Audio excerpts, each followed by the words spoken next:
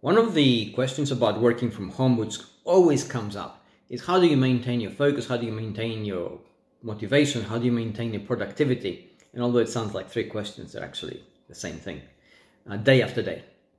And um, I'm going to give you three things which you can actually do here, which will help you solve this. And there's a solid neuroscientific basis behind them.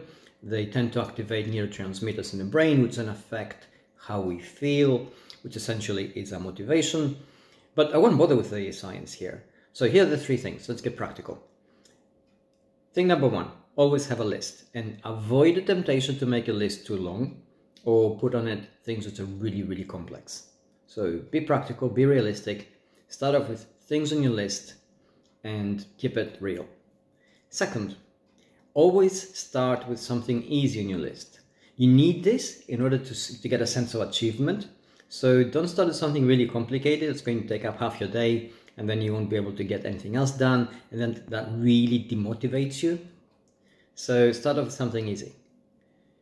And the third thing is always cross things out on your list. It gives you a sense of uh, progression, it gives you a sense of achievement, it gives you a sense that you're actually moving things forward.